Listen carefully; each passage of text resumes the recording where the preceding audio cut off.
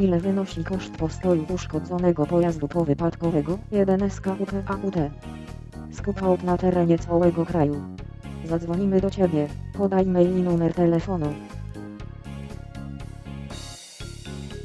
Ile wynosi koszt postoju uszkodzonego pojazdu powypadkowego?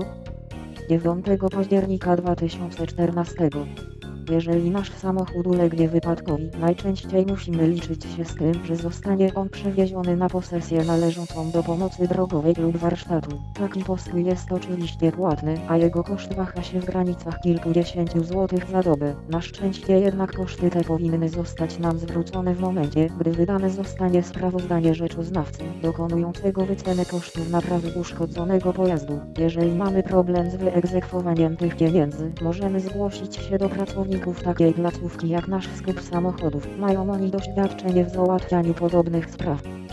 Zapraszamy do kontaktu z nami. Nasz skup samochodów gwarantuje profesjonalne usługi i bardzo atrakcyjną współpracę. Zapewnimy dojazd do klienta, bezpłatną wycenę, płatność gotówką, odbiór samochodu. Czekamy na e-maile, telefony i zapytania wysłane poprzez formularz kontaktowy.